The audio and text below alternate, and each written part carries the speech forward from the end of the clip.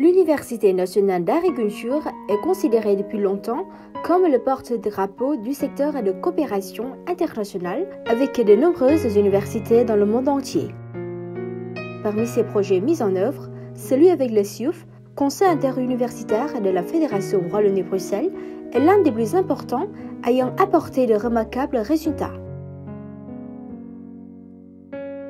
L'un des départements qui bénéficie de ce soutien belge, c'est le Centre de l'information et de la bibliothèque Lugnicourt, successeur de la bibliothèque de l'Université d'agriculture et de sylviculture, l'Université nationale d'agriculture aujourd'hui. Fondé en 1956, le Centre Lugnicourt a connu des moments difficiles. Cependant, il continue de conserver un volume important de documents et de livres dans le but d'assurer l'information bibliographique au service de l'enseignement et de la recherche. Au fil des années, le centre a reçu le soutien de la direction de l'Université nationale d'agriculture et a intensifié sa coopération avec le réseau universitaire du pays et les partenaires étrangers, dont l'ARES, Académie de recherche et d'enseignement supérieur de la Fédération Wallonie-Bruxelles. Ce programme SIUF ARES, initié en 2003 avec un soutien financier d'environ 35 000 euros par an, a apporté un nouveau souffle à la bibliothèque.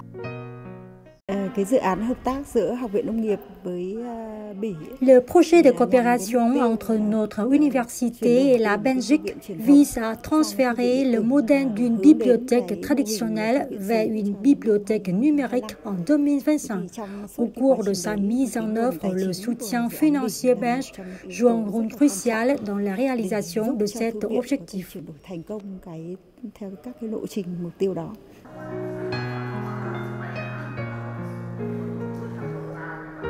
Dès le financement du programme SIUF, période 2003-2007, la qualité de la bibliothèque s'est renforcée suivant deux axes prioritaires pour soutenir l'enseignement et la recherche.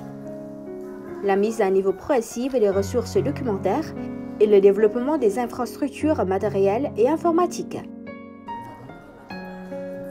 L'amélioration des services et l'organisation de formation pour la recherche documentaire consolide ce programme.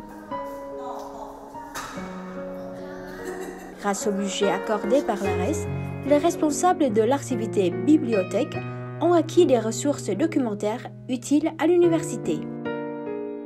La documentation doit couvrir de multiples domaines économie, développement rural, aquaculture, psychiculture, etc. Le but est de permettre un accès optimal à une documentation scientifique et de pointe indispensable à un cursus universitaire et à la recherche actuelle.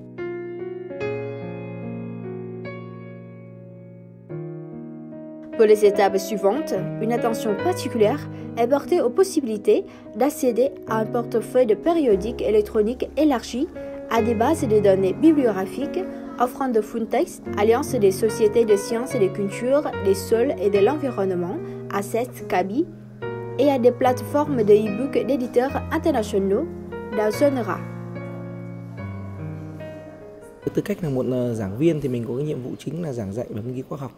Le centre Learning m'a beaucoup aidé dans l'enseignement et la recherche scientifique, grâce à plus de 300 000 livres et des bases de données en ligne.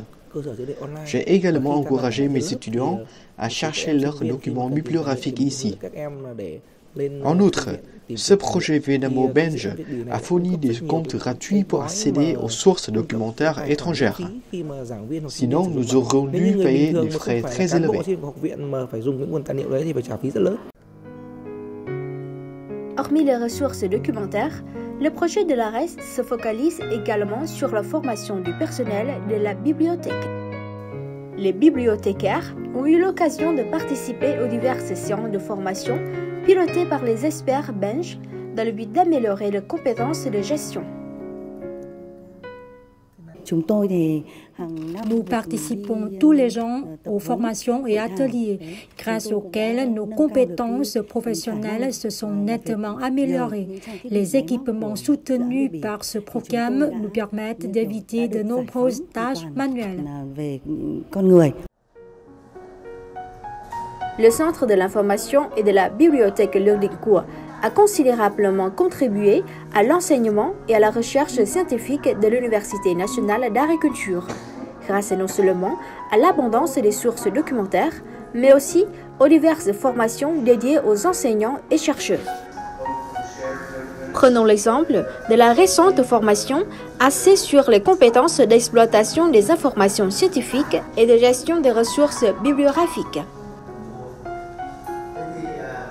Sous le pilotage de Pascal Jamin, professeur à l'Université de Louvain, cette formation a fourni des moyens permettant de faciliter la recherche des informations scientifiques sur les bases de données en ligne à partir de la bibliothèque numérique de l'Université nationale d'agriculture.